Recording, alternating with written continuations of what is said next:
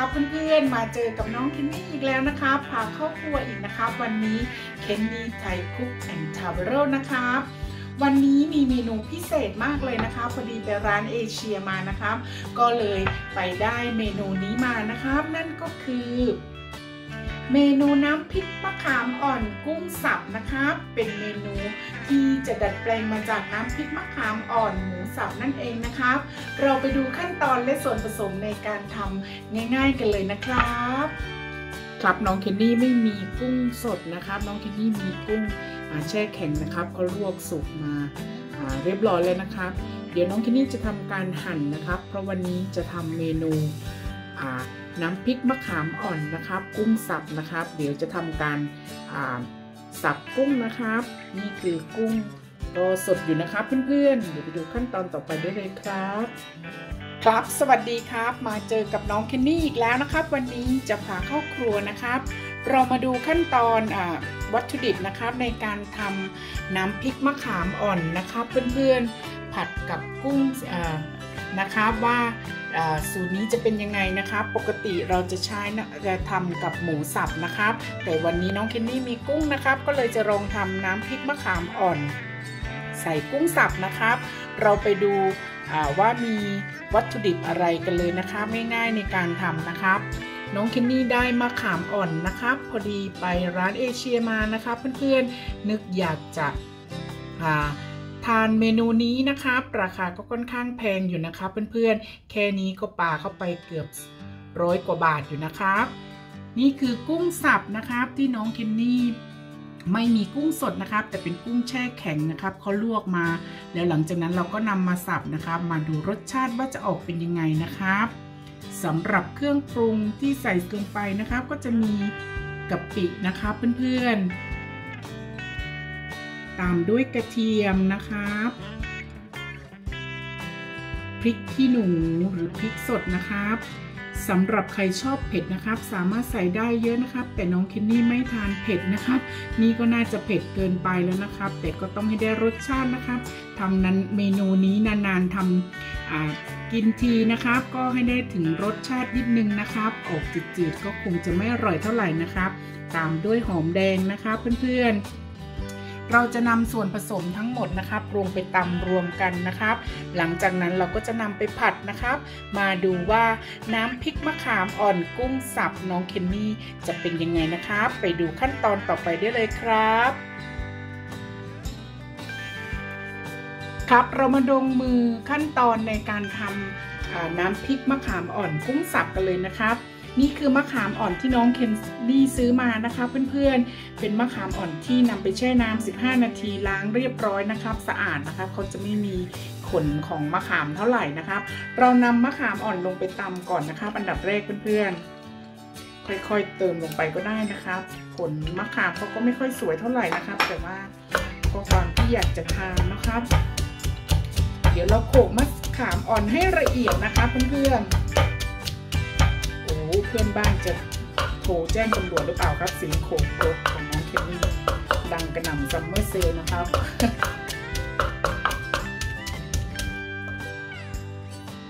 เราสามารถปรุงรสชาติได้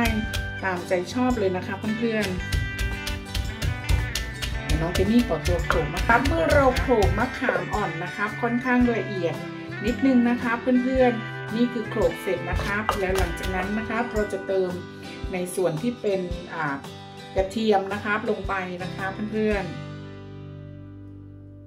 ใส่กระเทียมลงไปก่อนนะครับโขลกต่อไปนะครับ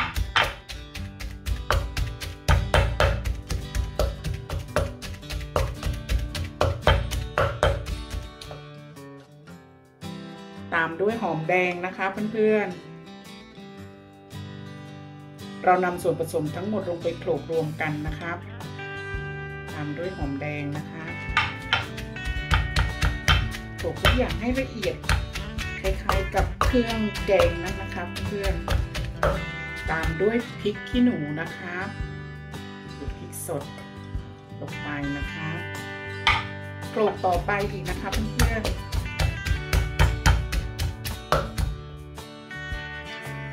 จริงๆ แล้วถ้าเป็นครกหินนะคะเขาก็จะละเอียดได้ ได้ง่ายกว่านะครับ แต่น้องที่นี่ไม่มีครกหินนะครับ มีครกนี้ก็ถือว่าใช้ได้แล้วนะครับครกต่อไปนะคะครับในส่วนสำหรับขั้นตอนนี้น้องเคนนี่จะเติมกะปิลงไปนะคะ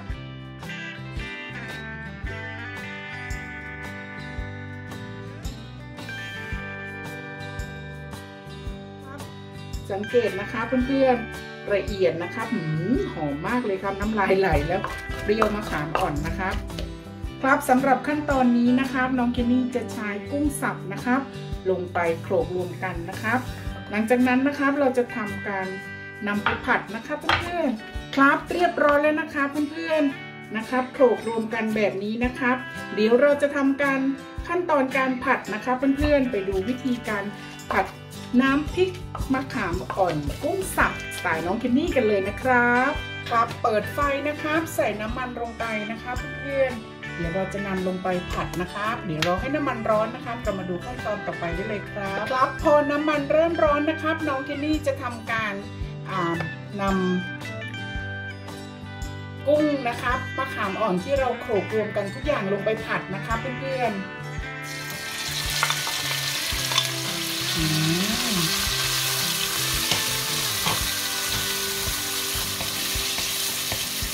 เราจะทำการผัดไปเรื่อยๆนะครับสูตรนี้อาจจะมีสูตรแห้งนะครับ อาจจะหน้าตาหอมมากเลยนะครับเพื่อนๆโอ้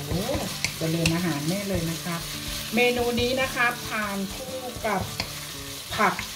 สดๆหรือผักลวกนะครับ ก็อร่อยนะครับเพื่อนๆน้องเคนนี่ชอบทำทานบ่อยสมัยอยู่เมืองไทยถ้ามีมะขามอ่อนนะครับ นึกถึงฤดูการมะขามอ่อนเนาะ เด็กๆนะครับชอบไปปีนต้นมะขามแล้วก็เก็บมากินกับน้ำปลาพริกเกลือน้ำปลานะครับอืมอร่อยนะครับแต่นี่พอมาอยู่เยอรมันนะครับ ปรากฏว่ามะขามอ่อน ราคามหาเหือมากเลยนะครับ แต่เราไม่มีเราก็จำเป็นจะต้องซื้อกินนะครับอืมกราบเริ่มหอมแล้วนะคะเพื่อนๆ โอ้หน้าตา เริ่มหอมมากเลยนะครับ ดูสิครับหน้าตาเขาเริ่มหอมกลิ่นมะขามนะครับ หลังจากนั้นนะครับเราจะผัดไปสักพักเสร็จแล้วเราจะปรุงรสตามใจชอบเลยนะครับ จริงๆแล้ว เราใช้น้ำตาลปี๊บนะคะเพื่อนๆแต่ว่าน้องเจนนี่ไม่ทานหวานนะครับเพิ่มน้ำตาลธรรมดาก็ได้นะครับ คิดว่าก็คงจะได้รสชาติเช่นกันนะครับ เดี๋ยวน้องเจนนี่ขอตัวผัดไปสักพักนะครับมาดูขั้นตอนต่อไปได้เลยครับ ครับพอผัดไปได้สักพักนะครับเดี๋ยวน้องเจนนี่จะเติมน้ำล้างครกนะครับ ที่ตำใช้ตำลงไปนะครับเพิ่มให้เขามีน้ำเพิ่มนิดนึงนะครับ เดี๋ยวเราผัดต่อไปนะคะให้เขาจนแห้งนะคะเพื่อนๆครับสำหรับขั้นตอนนี้น้องเจนนี่จะทำการปรุงรสนะคะเพื่อนๆ ส่น้ำปลาลงไปนะครับ จริงๆกะปิเขาก็ค่อนข้างจะเค็มอยู่แล้วครับแต่เพิ่มรสชาตินิดหน่อยนะครับ ตามด้วยน้ำตาลนะคะจริงๆออกเปรี้ยวหวานจะอร่อยนะครับ ใส่ไป2ช้อนชานะคะเพื่อนๆตามด้วยผงรสดีนะครับผัดต่อไปนะคะเพื่อนๆครับพอเราผัดไปสักพักนะคะเขาก็จะเริ่ม แห้งแล้วนะคะเพื่อนๆหน้าตาน่าทานอยู่นะคะหอมมากเลยครับเพื่อนๆ เดี๋ยวน้องเคนนี่ลองชิมรสชาตินิดนึงนะครับ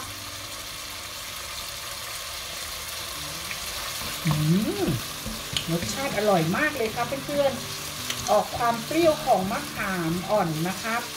แล้วก็เนื้อกุ้งนะครับ แต่รสชาติ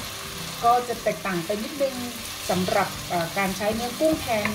เนื้อหมูสามชั้นนะครับหมูสับก็จะอร่อยอีกแบบ เพราะเขาจะมีความมันในตัวของอหมูสับนะครับ แต่ว่ากุ้งก็ใช้ได้นะคะเพื่อนๆ เดี๋ยวน้องเจนนี่จะผัดไปสักพักหนึ่งนะครับเดี๋ยวหลังจากนั้น เราก็จะจัดจานพร้อมเสิร์ฟนะครับ กับผักลวกผักสดอร่อยอร่อยนะครับเพื่อนน้ำพริกมะขามอ่อนนะครับกุ้งสับสไตล์น้องคิมมี่ ก็เรียบร้อยแล้วนะครับ ขอบคุณเพื่อนๆนะครับสำหรับการติดตามรับชมเป็นกำลังใจให้น้องเคนนี่เสมอนะครับเคนนี่ Thai Cook and Travel นะครับเพื่อนๆฝากติดตามรับชมคลิปเก่าๆเป็นกำลังใจให้น้องเคนนี่ได้ทำคลิปดีๆ ต่อไปด้วยนะคะเดี๋ยวเราไปจัดจานพร้อมเสิร์ฟกันเลยนะคะเพื่อนๆหน้าตาน่าทานนะคะ ครับน้ำพริกมะขามอ่อนกุ้งสับของน้องเคนนี่ก็เรียบร้อยแล้วนะครับเพื่อนๆ เป็นไงบ้างครับหน้าตา น่าทานมากเลยนะครับอืมวันนี้เจริญอาหารแน่เลยนะครับ น้องเคนนี่จะทานคู่กับผักลวกนะครับ น้องเคนนี่ก็จะมีหัวโคลบี้ลวกนะครับ แครอทสดนะครับเพื่อนๆ แตงกวา ถั่วลวกนะครับ แล้วก็ผักสลัดนะครับ ใช้วัตถุดิบ ผักที่มีนะครับ ตาม